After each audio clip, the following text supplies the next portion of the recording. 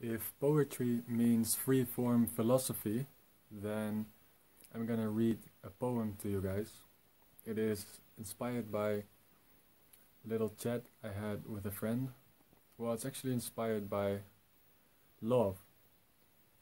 And I'm really tempted to say love for her, or the love I feel for myself when I had this talk, this conversation, this communication with her. But it's not that. It's just love. It's a feeling I experienced. It's not my own. It's just like flowing through me in and out when I feel it deep inside and when I'm conscious of it. It's like I feel that it's inside. And uh, yeah, here it goes. Dying, in my experience, is really tough. What's even harder is what comes after you come back or realize you're not dead in the way you think of it. Then comes a period of at best integrating this experience and transcend it, or to repeat the same human cycle and forget about it. Sleeping is like dying. Your consciousness dissolves or goes elsewhere. Dying to me is connecting with the space between things, instead of what humans normally do connect, identify, and attach to the things surrounding that space. If you look around and observe objectively, we can see there is more nothing than something. With nothing meaning that what you don't perceive directly with the physical senses. You can call that thing matter, physical, or the gross world, but it comes down to all we like to think we know the familiar, hell, in a way. So, dying is connecting with the unfamiliar, humanly unexplainable, and maybe temporarily being unaware of who you believe you are, which is the person you identify with the most the representation of yourself. Perhaps you connect with your deeper, infinite, godlike, eternal self. All these words are bad attempts to describe these magical experiences.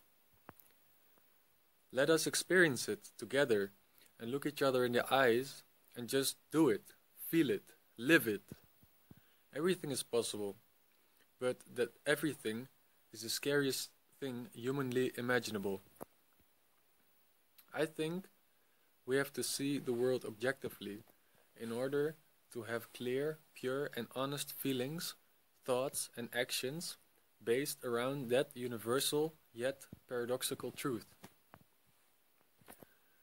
I can do it, and I risk my life for this. To live a life with heart, no matter how hard it seems. To be a warrior, Expect nothing and be prepared for everything. I believe love is the only thing worth everything.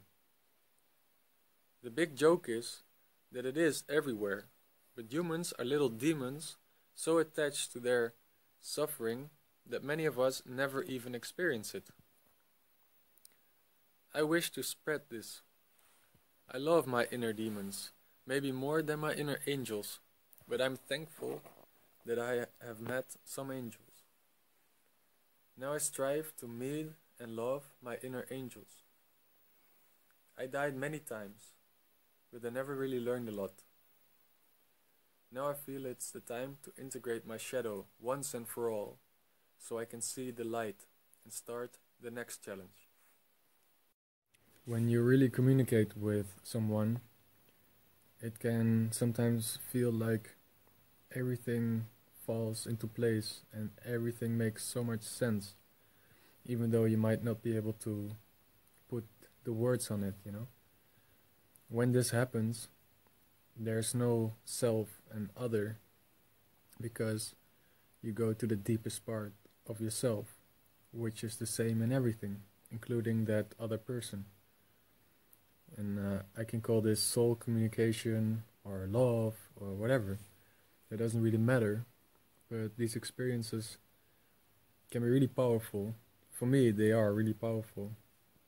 They give me energy, and like now, I suddenly wrote this this poem, which uh, amazed me after reading it. Like it came from another place, you know.